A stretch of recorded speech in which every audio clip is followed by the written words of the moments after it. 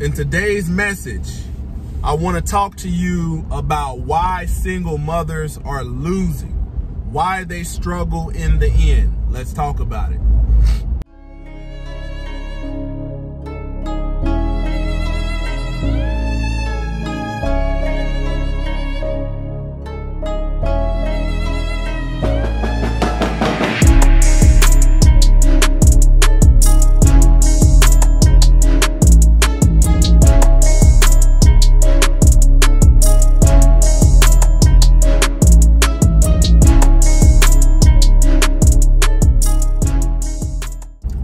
Most High Yah Shalom. Thank you for tuning into another Righteous Spirit-filled episode.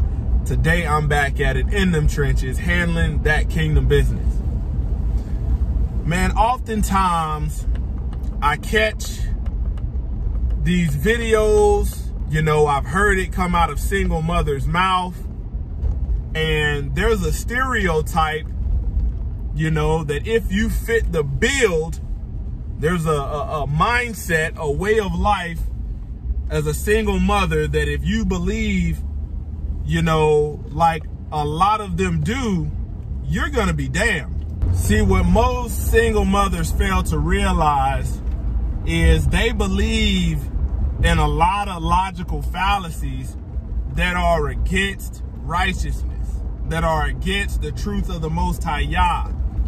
And what happens is, these women, you know, a lot of times choose men that are not showing they have the characteristics of being wise men. And these women lay down with fools sometimes and they paint on men with that same brush. They lose respect for men because they chose a fool, you know, due to lack of discernment, due to lack of wisdom, due to their mother not teaching them according to righteousness. And then you have the single mothers who just are rebellious and got a, a, a, case of the ass and wanted to leave.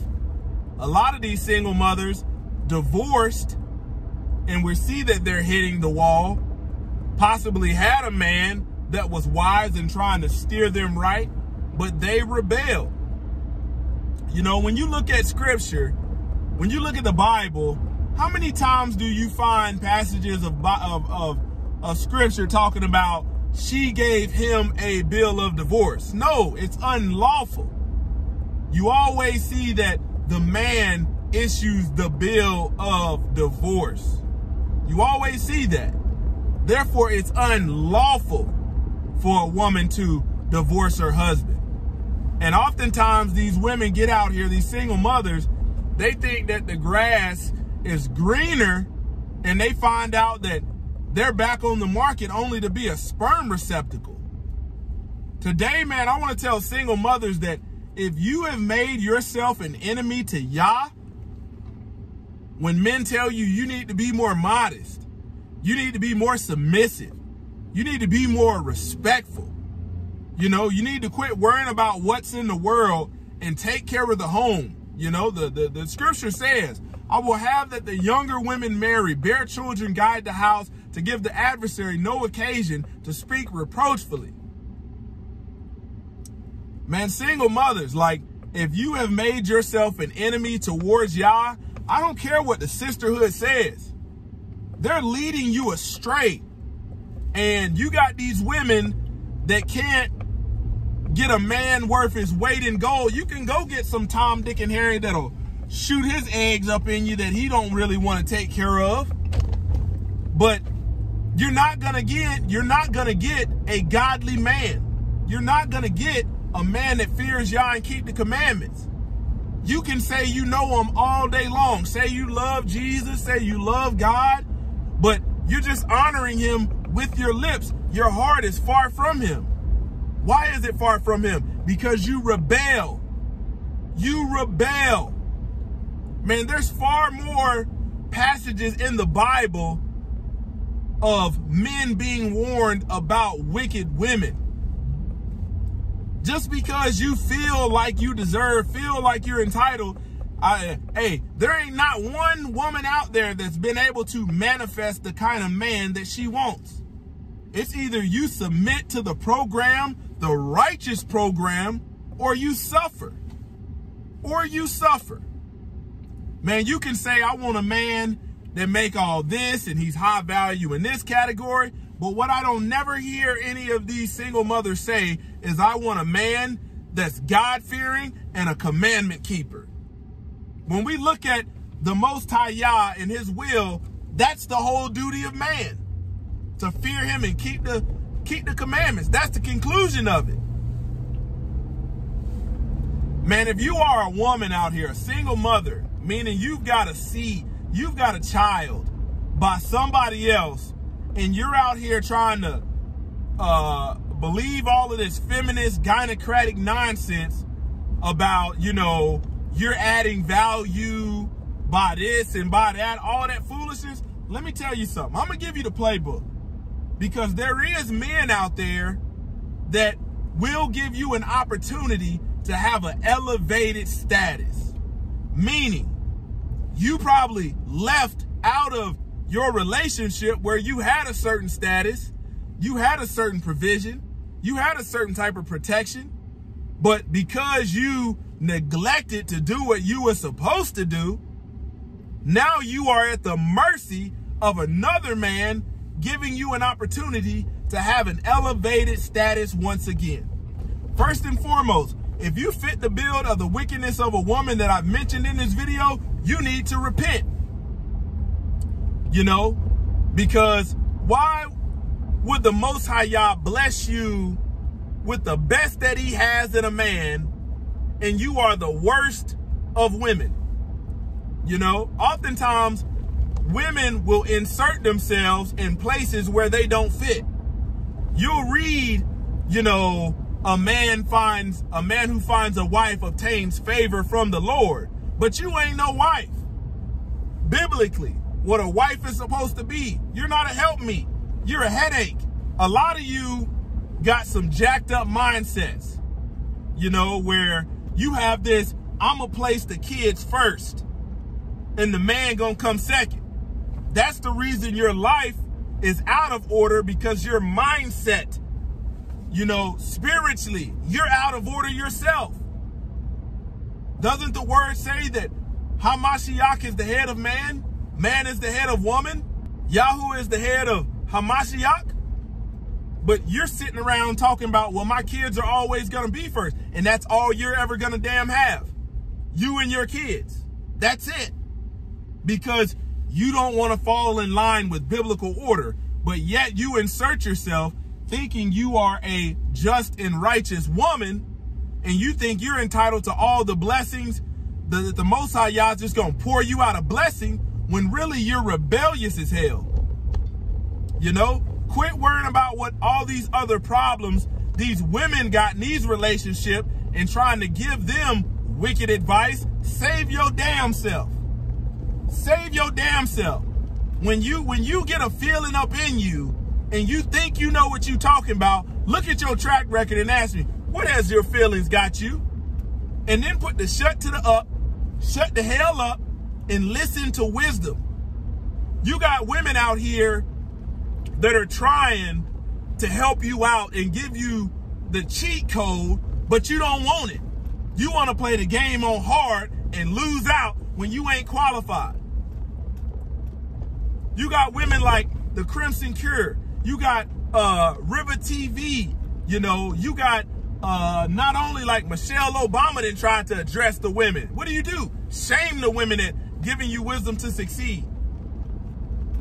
Man, I'm telling you, as a single mom, you know, you're going to end up getting men that will take you out on a date and all of this, but they're not going to be willing to invest in you. You know why? What what what what is there to invest in? You're rebellious. You place the kids first. So a man is supposed to provide and protect and do all this crap for you, but you're going to let his house fall apart. Why? Because you don't want to keep the house. You know, if a man has seed by you, he already knows you jumped ship somewhere else. So he's supposed to confidently have a seed with you, knowing you already jumped ship in your rebellion in a previous relationship, as the reason why you're a single mother. And he already knows, push come to shove, if he's got a job to put everybody else first, and that's your expectation, but you don't put him first, that's a losing situation. You out of line and out of order. You know, there were some women in the Bible that was righteous women. And the Most High Yah, even at old age, unlocked their womb. See, the problem is the Most High Yah didn't unlock your womb and allowed you to have kids to teach you a good lesson, but you haven't learned it. You're seeing all of these single mothers who had a man at some point talking about how hard it is. I didn't think being a single mother was supposed to be this damn hard. How damn stupid can you be? How damn stupid can you be?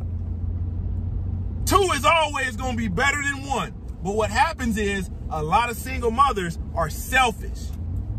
You know, you got a man, he might not be the and all be all, but guess what? You damn ain't either. And both of y'all need to be working on yourself.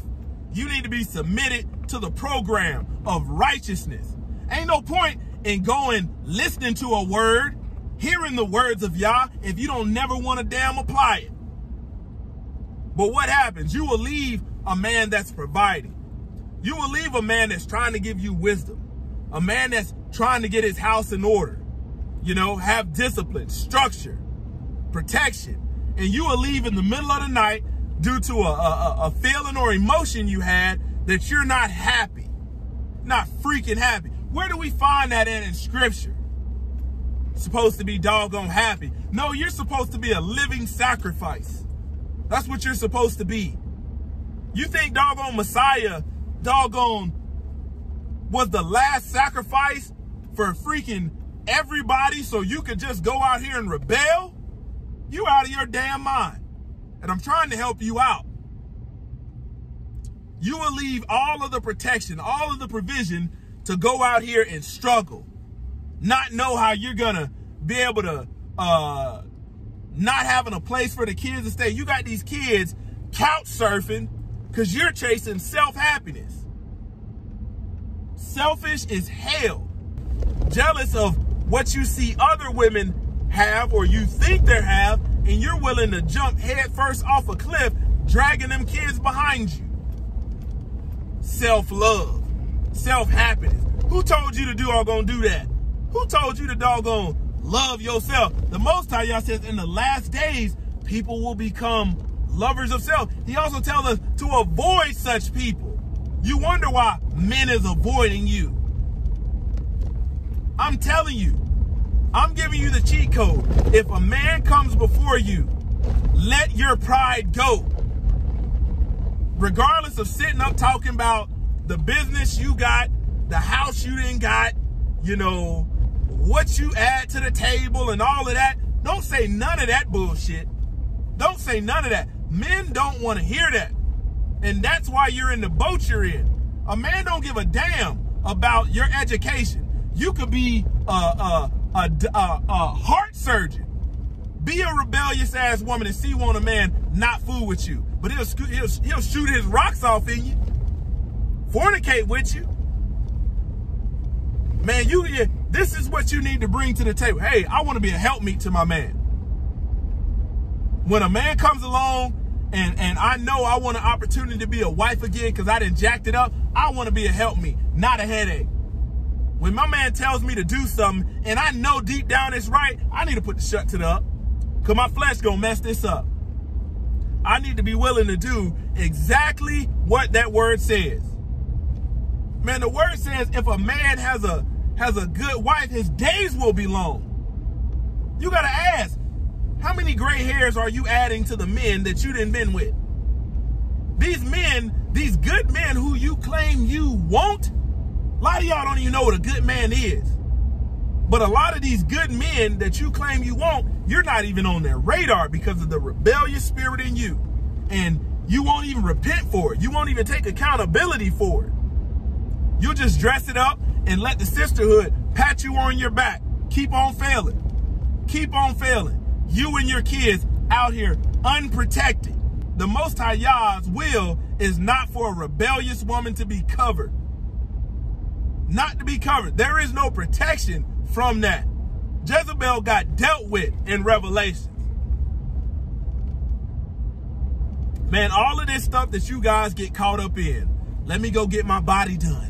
Let me go get a mommy makeover. Don't you know that the word says beauty is vain? Why the hell y'all so damn focused on beauty? Like that's gonna get you a good man. That's gonna get you the same plum food you probably didn't had in the past. And here's a here's here's the kicker. A lot of y'all single mothers are getting out on these podcasts. They got video footage and you're showing the world your rebellion. Sit the hell down somewhere. Shut the heck up. Anytime a rebellious woman opens her mouth, any man that was going to look at you and try to give you an opportunity is far gone. You ran him off. All the nagging like a leaking faucet, like the word says. A man getting with you is like holding on to a scorpion. He just gets stung all the time.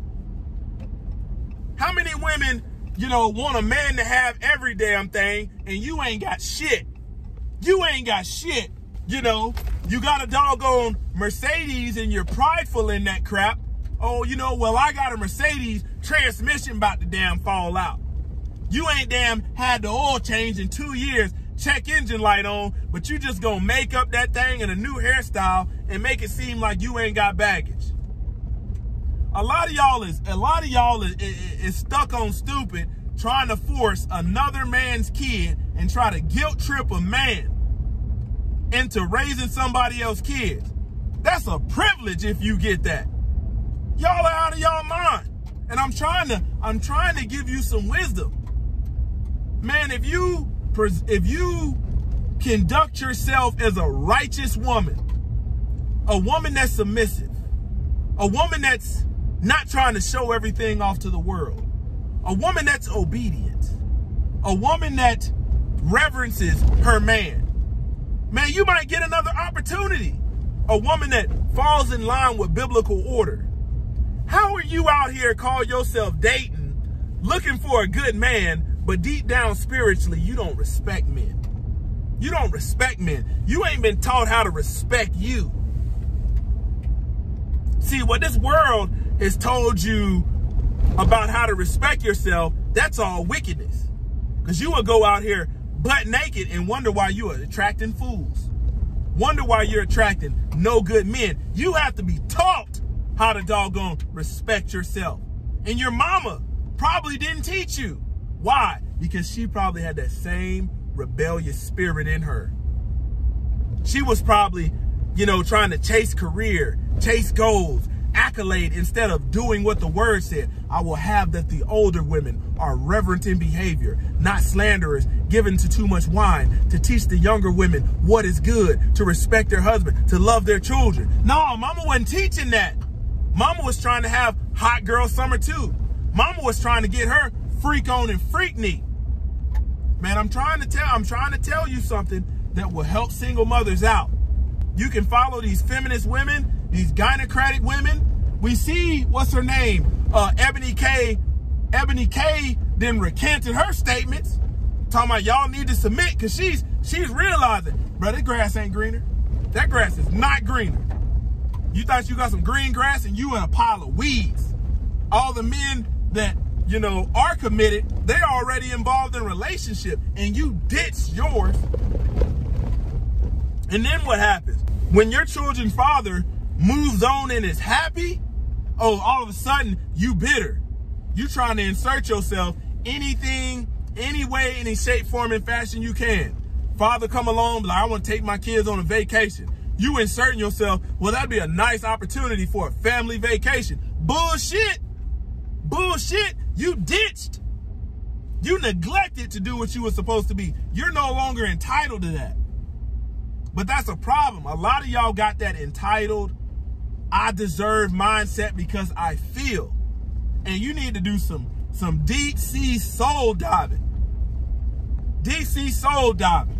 Repentance and deliverance out of this stuff. You see what Beyonce just said? Beyonce showed honor to her husband. Meanwhile, she been selling y'all a wicked ass doggone dream the whole time. Y'all been listening to that Beyonce, girls run the world, but what's she doing behind closed doors? Submitting to her husband, reverencing her husband. Seems like a damn hypocritical woman to me that then sold her soul for money. Even she got sense. Man, you might want to wake up. I'm trying to help you out. I know you might, I know a lot of women are part of the tone police. You might not like it, but I'm trying to tell you how you can prosper. Closer to Yah ministries, kicking the gun barrel straight.